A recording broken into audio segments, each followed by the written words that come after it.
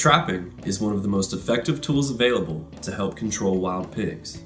However, interference from species such as raccoons, deer, livestock, and others can present real problems when attempting to trap or snare wild pigs.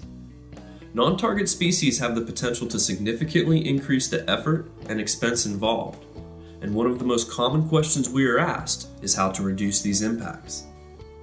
Negative impacts associated with non target species include bait consumption, premature trap activation, trap damage, potential injury to the non target animal, and others. By reducing these impacts, time and money can be saved and greater success can be achieved.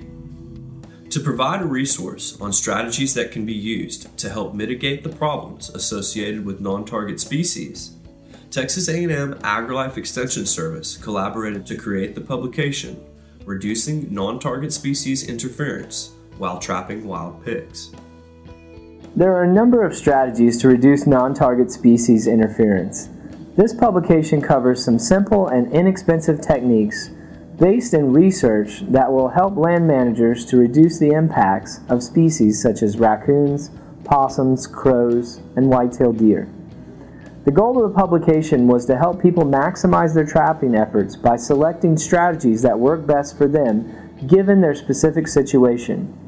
The publication was produced in conjunction with efforts relating to improving water quality in Texas watersheds, but the information conveyed can apply to anywhere non-target species impact wild pig trapping success.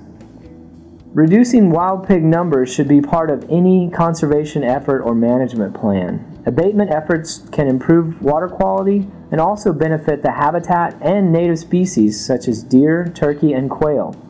Other legal control methods include aerial gunning, shooting, snaring, and the use of trained dogs, and best management practices suggest that a combined approach is often needed for best results.